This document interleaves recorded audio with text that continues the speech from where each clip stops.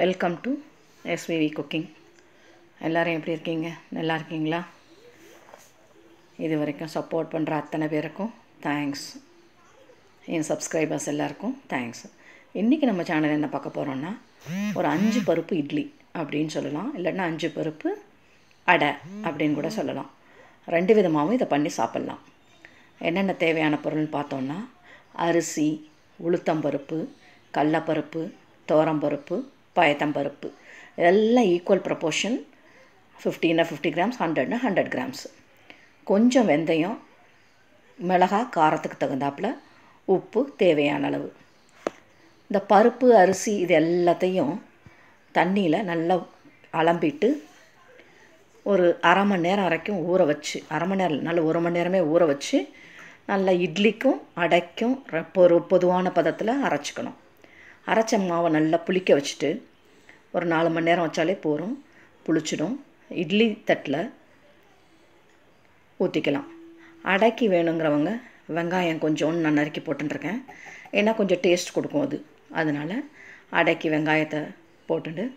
இதுக்கு காரம் எல்லாம் நம்மளே போட்டு அரைச்சிருக்கிறதட்டு எதுவும் எக்ஸ்ட்ரா தேவையில்லை அடுப்பில் ஒரு தோ தவா வச்சுருக்கேன்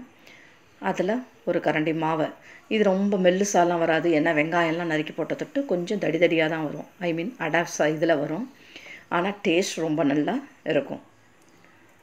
நல்லா பரப்பி விட்டுட்டு மாவை எண்ணெயை நல்லெண்ணெய் இருந்தாலும் சரி இல்லைன்னா தேங்காய் இருந்தாலும் இன்னும் டேஸ்டியாக இருக்கும் எண்ணெயை சுற்றி போட்டுட்டு ரெண்டு பக்கமும் நல்லா பொன்னிறமாக ஒன்று எடுக்கணும் மீடியம் ஃப்ளேம்லேயே வச்சுக்கோங்க ஏன்னா பருப்பாக இருக்கிறத தொட்டு டக்குன்னு கருகிடும் ஸோ பரட்டி போட்டிங்கன்னா இந்த கோல்டன் கலரில் நல்லா ரெண்டு பக்கமும் வெந்துடும் வெந்த உடனே அடையை ஒரு பிளேட்டுக்கு ட்ரான்ஸ்ஃபர் பண்ணிக்கலாம் நல்லா சாஃப்டாகவும் இருக்கும் ஆஸ் வெல் அஸ் முருகலாக வேணும்னாலும் எடுத்துக்கலாம் இது முருகலாக நடுப்புற ஓட்டை போட்டு நம்ம எண்ணெயை ஊற்றினோன்னா நல்லா முருகலாக வரும் அது ஸோ இந்த பருப்பு எல்லாம் இருக்கிறதுட்டு எல்லா ப்ரோட்டீனோட சக்தியும் நமக்கு கிடைக்கும் இப்போ இட்லி அதே மாவு தான் இட்லி பார்த்துருக்கேன் இட்லி பாருங்கள் எவ்வளோ சாஃப்டாக வந்திருக்குன்னு நல்லா பஞ்சு மாதிரி வந்திருக்கும் சாப்பிட்றதுக்கும் ரொம்ப டேஸ்டியாக இருக்கும் இதுலேயே காரம்லாம் இருக்கிறதுட்டு உங்களுக்கு கார சட்னி எதுவும் அவ்வளோவா தேவை இருக்காது நல்லா தேங்காய் சட்னி இல்லாட்டினா ஒரு பொடி இல்லைன்னா புளிப்பான இருக்கிற தக்காளி சட்னி இல்லைன்னா வெங்காய சட்னி வச்சுக்கலாம் நான் இன்றைக்கி வச்சுருக்கிறது வெறும் பொடி தான் பாருங்கள் இட்லி எப்படி சாஃப்டாக வந்திருக்குன்னு ஈவன் உடச்சி பார்த்தப்ப கூட ஐ மீன் பொட்டு பார்க்குறப்ப அவ்வளோ சாஃப்டாக நல்லா டேஸ்டியாக இருக்குது இட்லி